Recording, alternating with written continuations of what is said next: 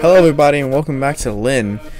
This is uh, part three of my playthrough of this visual novel horror game. So we're gonna go back, and I think we're talking to Susie. I believe. Oh no, it's announcer. We're sorry to announce that the train departing from platform two to London Waterloo is delayed by approximately. I've heard a sign. I have a sigh. And glance at the electronic display board. The train times blink up bright orange against black. Susie lives a couple stops away. It should only take five minutes to get there, give or take, but there's some kind of holdup. None of the trains are running on time. For London, that's pretty rare. People always joke that it'll be the end of the world before trains start arriving on time, but the trains and buses in London are pretty punctual. Even when there aren't there are so so many other trains and buses that follow similar routes it doesn't really matter. I wonder if someone threw themselves onto the track. Wow, that's a dark thing to think about. When there's a big delay like this, there's usually that's usually the case. Wow. It's a fact of life I've been aware since I was 5. That's actually kind of depressing. Yeah, if you if you know about people throwing themselves on like train tracks when you're five, that's pretty. That's a pretty scary thing to think about. I frown, tapping my foot against the platform. A bag of chipsticks rolls past me. They bounce by the breeze. The packaging glimmers in the sun. Is it supposed to be chipsticks? There are enough bins around. Why do people litter? Are they really that compelled to cause petty crimes? Oh well. It's got nothing to do with me.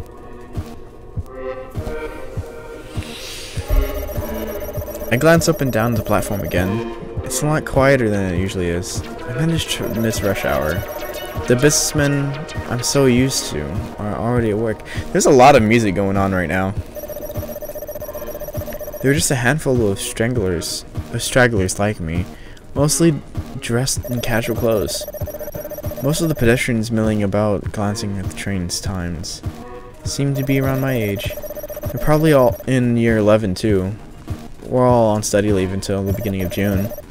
And speaking of people my age, I see a girl. A very familiar girl. A girl who looks like a lot like me, but at the same, decidedly isn't. She was in my dream last night, watching me with cold and um, impersonal eyes while I squirmed. She looked so tidy and presentable as per unusual. Her black hair is neat and straight. She's wearing casual clothes, but she managed to make them look sophisticated, like a model in a fashion magazine. I wonder how expensive her clothes are. Probably cost her much, much more than mine.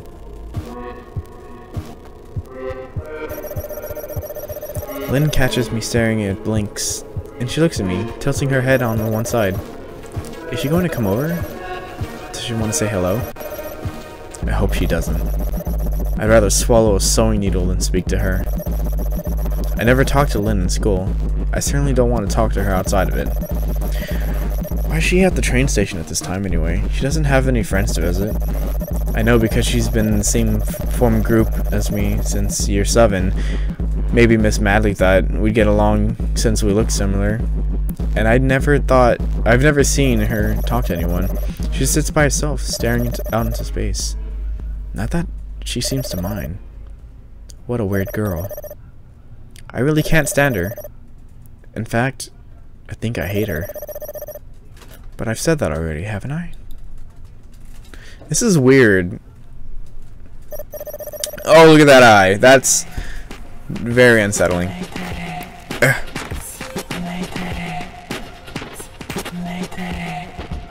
Excuse me?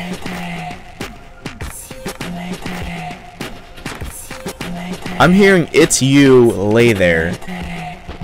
This is... Okay, this audio is creepy as hell. I can't believe it. Susie sits on the edge of her bed, clutching a pink heart-shaped pillow tightly in her chest. Susie's chest is bigger than mine. Maybe that's why she's so popular. Could you stop whispering in my ear, please? It's very concerning to me. Oh. Thank you. Sometimes when I look at Susie, I can't help but feel jealous. She's not just bustier than me. She oh, oh, when you come back in the middle of my sentence, really? She's not just bustier than me, she's prettier too. Her clothes are nicer, her parents are richer. Susie's bedroom is really, really cute. It's pale pastel pink with a few stuffed toys lying on the bed and a rose-shaped rug on the floor. Susie's bedroom is a little childish in a way, but I think it suits her. It must be perfect backdrop for her live streams. What does she do during her streams anyways? Does she talk in Japanese and do cute dances? I don't know. I don't even want to know. I, I, I think your friend has a bad case of the weeaboo. Just saying. But Susie's expressions right now isn't very cute. She's angry about something. Positively fuming. How could Aki ask me to do that? That's so degrading. What do you want you to do? Oh, all kinds of things like, you know, stuff on webcam, this and that. Susie grips the pillow even tighter. Ugh. I don't know how much about online relationships or offline relationships, for that matter. So my advice might not be useful, but you're not even old enough, right? Like that matters. Get with the times, Lynne.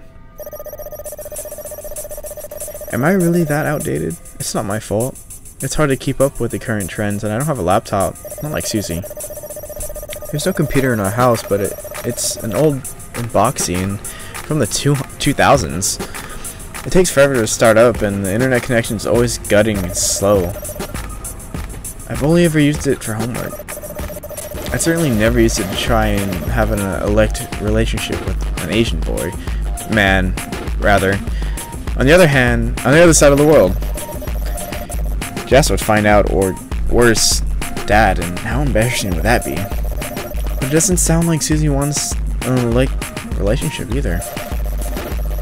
I don't know much about it, but wouldn't doing things on webcam um, sounds a bit sad, doesn't it? We're certainly never taught about it in sex ed. Well, yeah, there's nobody actually here, so you just need to imagine a bit. At, at least I have a good imagination. This is, um... this is not for the children, I, I, I think. No, no, no, nothing. Sh shit. Uh, Su Su Susie throws the pillow to one side and adjusts her pigtails. She strikes a pose. I'm everybody's cute little sister, Suzumi. Is that what she calls herself on on like stream?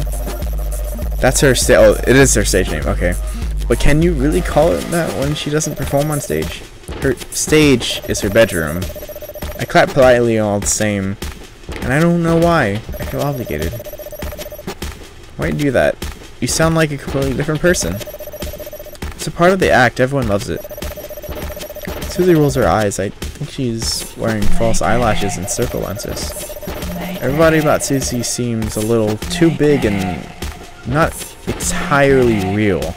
It's like watching an actress on TV. I thought Aki was different, but maybe he only likes me because of Suzumi too. See, that's the one thing about like online personas. Uh, when people try to get into your life more, and that's not like com the complete truth about who you are, then it starts becoming a problem when um, they start asking for more and more. Oh, but he's writing music. Yeah, yeah, not for free. Guys don't help young girls out for free. They don't? Of course not. People are always thinking about themselves. I agree with that, actually. Not that I'm much better. I mean, I'm using them too. Scandalous! Susie sighs. There are strings attached. You mean you have to do this and that? Yeah, this and that. Susie lies down in her bed and stares up at the ceiling. She must be muss mussing up her pigtails, but she doesn't seem to care. The cute little sister Susie me is gone. Now it's just Susie. It was always just Susie.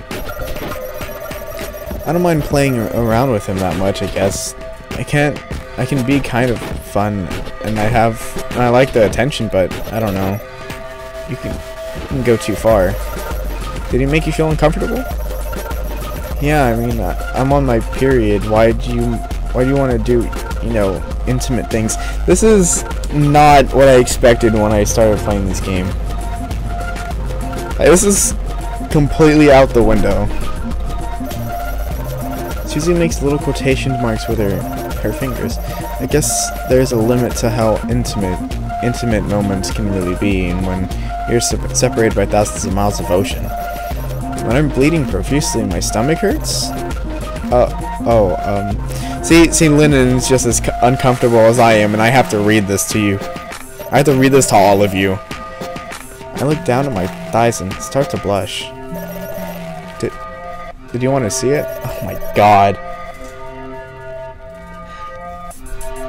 What did I get myself into? He always asks to see it.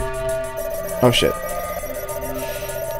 I said I don't want to, but he was so in insistent, and I was like, whatever. If it'll make you shut up, I don't really care about it, but it's gross, you know. Susie pulls a face. I felt fine at the time, I think. I don't know. It didn't really feel good, but whatever. He seems to be enjoying himself, and I told him if it was fine and so as long as one of us did, but Susie bites her lower lip and very soft and shimmery. She was, she must be wearing lip gloss. I don't know, when I woke up this morning, I felt kind of, can't explain it, dirty. She holds her pillow and even closer to her chest and she's staring up at the ceiling. Her hair fans out at the bed like a halo. I don't want to do it, so why did I agree to it? Why did I let him push me around like that? I'm not a pushover. I'm going I'm good at sticking up for myself usually, so I don't get it. He wasn't even here. It wasn't like he could make me do anything. There was nothing he could really have done. Maybe you felt like you had to? Why'd you say that? Well, he is a lot older than you and hasn't he and hasn't he been doing all these favors for you? He bought you a lot of expensive clothes. Yeah, I guess. That's what I thought, maybe. I think he did a lot of for me, so... Susie shakes her head. That's dumb. I didn't know him anything. I don't think so either.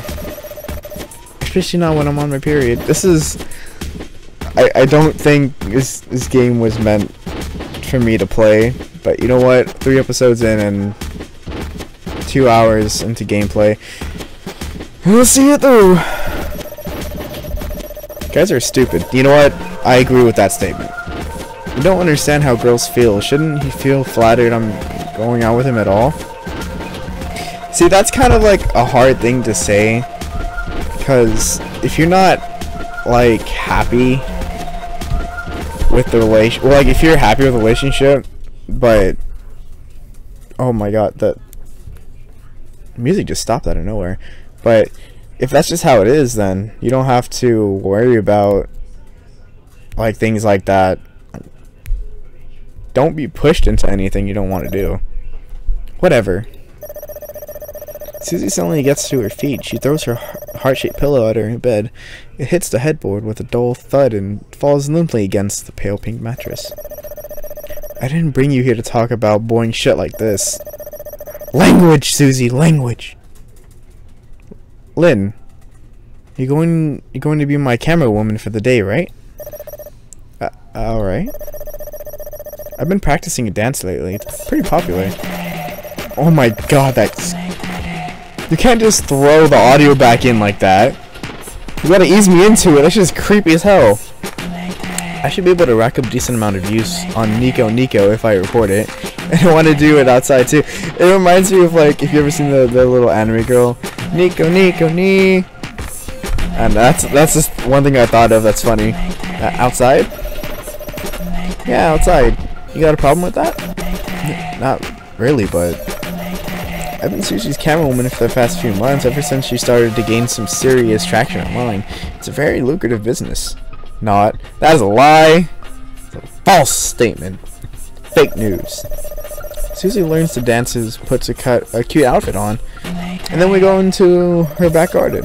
Susie performs while I film her, trying to stop my hands from shaking with an old Canon camera that used to belong to her dad and film her. Susie's dad goes bird watching sometimes. There's an abundance of old unused cameras laying around Susie's house. She makes good use of them. But I've never filmed Susie beyond the boundaries of her garden. Are you serious? Are you sure this is fine? Yeah, it's fine. I have no problem with it. Videos are more popular if you're doing them in public, like a at a park, or and the scenery is nicer. These kind of videos usually get more views. You can pull people in sh the shock favor too. Like, I did this cute anime dance in public. Oh my goodness. I guess she's done her research. Beyond his little sister Suzumi persona, Susie's pretty calculating. She'll do almost anything to boost her views and increase her fan base. I'm impressed, but if you dance outside, people will stare at you. So what? I feel like a few stares won't kill me. They might insult you. I can deal with it. What if they throw things? People don't throw things in Hyde Park. It would be respectable. It wouldn't be respectable. I feel like pointing out that the most young girls don't dance to cute Japanese songs in Hyde Park either, but I don't.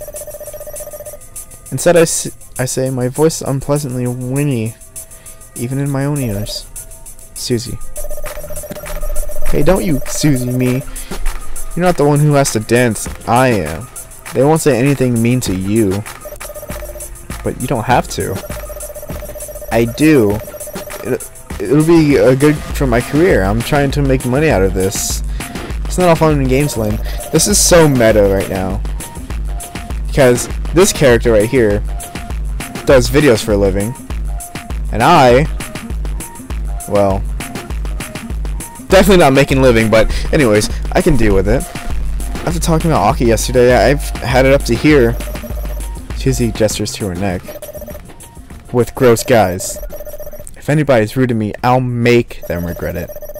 I'm not sure how Susie will make them regret it exactly. She's taller than me, but she's not that tall. She's so skinny, too. Susie's quite fierce. For a few months, she's convinced me. She's dating a guy who's in his 30s. She must know what she's doing. Right? What's this? I'm laying on my bed not doing anything in particular, just staring at the ceiling.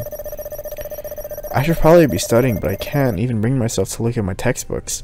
The mere thought of the crackling them, uh, of crackling them open makes me feel ill so I don't look at them.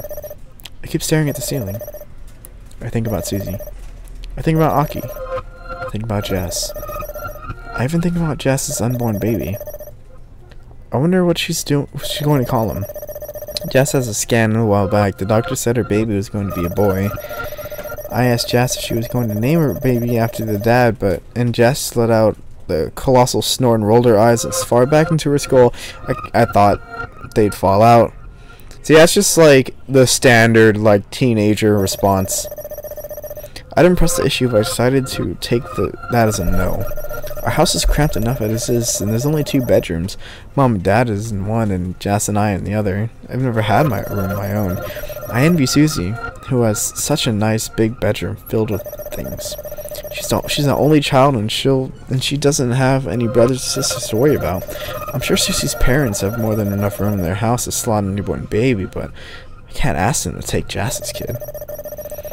I don't think Susie's parents like me very much, let alone my bastard baby brother. Yeesh, that's harsh. That still leaves one question. Where will the baby go? Where will you fit? And what will dad say when the baby's been born? He won't be able to pretend Jess isn't pregnant. Now when the evidence is starting to, is staring him right in the face, will he lose his temper? What if he makes a scene at the hospital? What if he starts shouting at Jess? I can hardly bear to think about it. Maybe I shouldn't think about it. I don't want to, but... Lynne, are you busy? There's a dull knocking at my bedroom door. It's Dad. Lynne. Hey, Lynne. He knocks again. He isn't knocking very loudly, but I know Dad well enough that this could be violent at any given second. I sit up, brushing my fingers through my hair, and hasten to answer him. I'm free, you can come in. The door handle turns, the lock clicks. I swallow. Dad stands in the doorway in all his glory. He's a huge, hulking figure over six feet tall, with broad shoulders and hands large enough to crush whole walnuts. When I was a little girl, I couldn't imagine there was existing anybody bigger than him. I was wrong. Dad isn't even tall, not compared to other people. He's a little above average, I guess, and the muscle, the muscles he developed through the years of manual labor add to his immediately uh, intimidating physique. But they're bigger men. I don't live with any men like that, and if I did, I haven't learned to be scared of them at all. Not in the same way I've learned to be scared of Dad. Hey, Lynne. But Dad doesn't look very intimidating right now. He lingers in the doorway and is strangely guilty, like he expects to be get scolded. Can I come in? Um, sure. I scoot to one side of the bed, opening a space for Dad to take a seat. He does so, but not before closing the door behind him. My fingers curl into the fists against my my better judgment. I wonder why. Self-defense? You're not cross with me, are you? I'm not cross. Why? You've been quiet. You've been a bit quiet lately, and you hardly said anything at dinner. You hardly ate anything either. Oh. I didn't think he noticed. I thought he was too busy listening to all Jess's faults and flaws. Rude, ungrateful, careless, irresponsible, inconsiderate, prideful. The list goes on and on. I wasn't hungry. Are you sure? I think you've lost a bit of weight lately. Really? Hmm. Your cheeks are hollow hollowing out. You look like a little skeleton. Maybe it's true. I suffered from nightmares for as long as I can remember. They've been growing more and more pronounced lately. The nightmare last night about the strange show, the stage show, and the insects was rather tame in comparison. How can I expect to eat after such awful dreams? I'm fine, really. I'm not hungry, that's all. You're not some kind of diet, are you? I shake my head. Good. I'm not a girl, but I know you're into silly stuff like that. Was the same at your age, but... Dad grits his teeth together for a few moments. I worry he's going to explode, but then he exhales heavily and his posture's relaxed. It's not important. We're not talking about Jess. Let's talk about you. There isn't much to talk about, really. Nonsense, you're my little girl. I really am little compared to Dad. I don't see how my littleness makes me any more interesting, but I keep quiet. It's the best I keep quiet around Dad. Your exams are coming up. Nervous? A bit. Well, it's normal to be nervous. I was nervous when I had exams too. It's part of being a kid. He ruffles the top of my head with, with a big and cautious hand, and it feels like I'm being mauled by a crab. You'll be fine, Lynne. You've been studying, haven't you? I glance on my bedside table, stacking high with Jess's old textbooks that I haven't bothered to open. I swallow. I don't know what hurts more, Dad's large hand on top of my head or the weight of his expectations. Yeah, um, I, I, I've been studying. Good girl. As long as you try your best, that's all I ask for. I, I'll try. I know I don't mean it. Is that what you're doing with Susie today? Love? Studying? Yeah. That's nice. I knew she was a good influence, and I'm glad you're hanging out with the right sort of kids, Lynne. Not like Jess. She was also going off with that awful Vaughn girl, though she's so much older than Jess. I should have been stricter, told her enough times, but Jess doesn't listen. She doesn't? Does she? Never, ha never has done. Never will. Even when I shout at her, it makes me wonder what the point of all this is. He sighs. What kind of father am I? I can't even discipline my own children. I don't think anybody could discipline Jess. She's a law unto herself. My worm comment brings a smile to Dad's lips. It's rare that I see Dad smile, but when he does, it's unusual around me. It's usually around me. I'm not trying to boast, that's just how things are. Jess never Jess never uh, Jess never makes Dad smile. She, she just makes him shout and spit in rage. You're right. Totally right. You're often right, Lynne. I don't know. I do. Don't sell yourself short. I was like Jess when I was her age. I thought I knew my best. I never listened to anybody, least of all my parents. I was a shithead. I made a lot of mistakes when I was raising Jess, so did Mary. Mary must be the mother. I don't want to make the same mistakes with you. I want, I want you to study hard. I want you to get a job. I want you to make something of yourself. You know, don't you, sweetie? All of a sudden, my throat feels dry. My head pulsates. Full of millipedes is my mind, dear wife. I think that's from Shakespeare, Macbeth. We're studying it in school. At least I remember something. I think the dream that you had the night before helps you remember millipedes. Too bad. All the things I remember are completely worthless. But why am I telling you all this? You're a good girl. Smart girl. You might not be at, good at maths or science, but I know you'll, you'll ace English for sure. The English teacher always says nice things about you at the parent evenings. Dad ruffles the top of my head. You'll do alright, love. I have faith in you. You'll make your old man proud. Jess never did. But you're different. I hope you don't let him down. Ooh, that's interesting.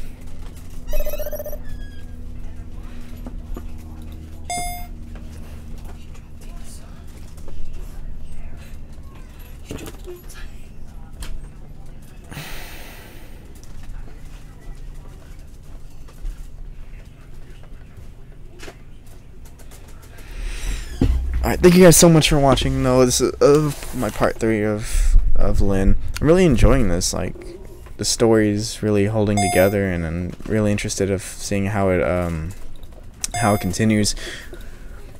But thank you guys so much for watching, and I'll see you in the next video. Bye.